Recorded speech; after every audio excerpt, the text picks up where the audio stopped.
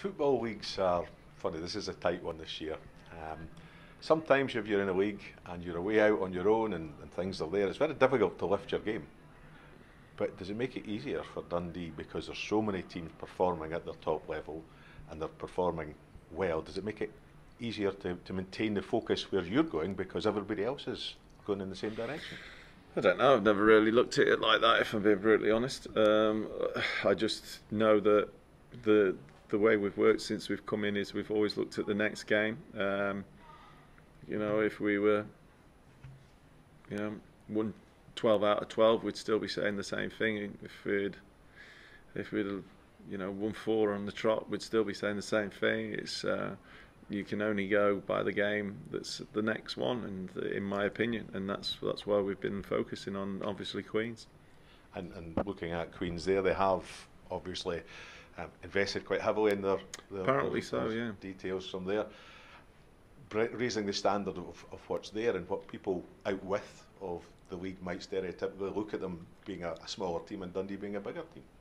No, I think like like I say. Uh, people have um, been quick to educate me on the story of Queens and obviously the amount of money that's been uh, allegedly put in. And um, you know, fair play to him. If you can get it, spend it. That's what I say. So. Um, you know, Owen knows how to do that, and he's done that well with the players that he's got in. Um, but you know, I think what that does do is obviously it raises the expectations of their supporters as well. So it's like us, myself and Owen, we won't pay any uh, particular attention to that expectancy because expectancy's never won you a game and you know it's all about what you actually do on the day and the, what you do in the build up to it.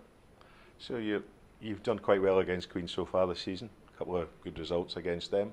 Hoping to continue um, along that that route. Has it? Have, have you been able to pick up a lot of things from the two previous games that you think will help you uh, I think you always look at the games in terms of you know what what you did well and what you can improve on. Um, like I say, I think from the first game to the second time we played them, there was a big change in terms of their personnel with the the, the players that they were able to bring in, um, and then obviously players are missing through illness and injuries that have returned from them. So you know, you're always learning and looking at obviously their, their personnel and ways that, like I say, we can exploit and and be aware of things that we have to do as well to stop them. So Friday night's coming along under the floodlights as yes. happens on the Friday. Yeah. What are you looking looking forward to most about this Friday? Well, it's the it's just that it's the fact that it's the next game. I, I know that sounds a bit repetitive, but that, that's it. It's the next game. It's the next opportunity. Like I just said, we're three unbeaten in the league ourselves. It's a chance for us to go and t- test ourselves against the team that beat the top of the league last week and get another measure of where we are. Is it frustrating?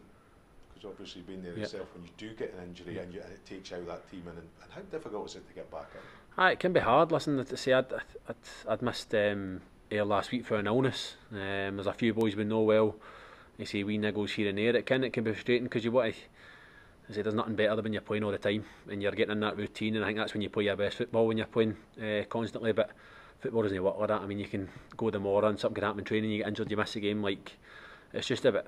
I think the older you get, you get more used to it, and you get there's ways of controlling it. Um, but listen, I said if we've got a, a, squad capable there that if somebody is stepping out or somebody is no well, then we've got players that are more than capable of stepping in, and I think that's a good thing. Um, and I say just just keep pushing each other from your own point of view, is, is that something that um, you feel is, is good to be able to, to have that support around yeah. you and, and the size of squad that they have here? Uh, aye, aye, hundred percent. I said, I said it's very rarely players go a full season without having having something an illness or an injury or something. So having a squad where you've got players that are, that are quite easily to step in and I say the way we train is, is tough so boys are ready to play it's not as if you're you're missing a couple of games and you're having to get up to match fitness the the way we train but the boys are the boys are staying fit um, and ready to go once called upon. So um, as I say, it's the boys that have got the jersey now that uh, it's up to them to keep it. Um, and as I say, just just keep training well and, and, and playing well, and, and, and hopefully that'll take care of take care of itself. You're you're in a, a league this season that there's probably about five teams that any one of them yep. on every week could end up in that top yep. spot because it's it's just so tight at the top there. Again, from from the the point of view from Dundee, does that make it better to, to, to play under these circumstances yeah. where every week there could be a change at the top?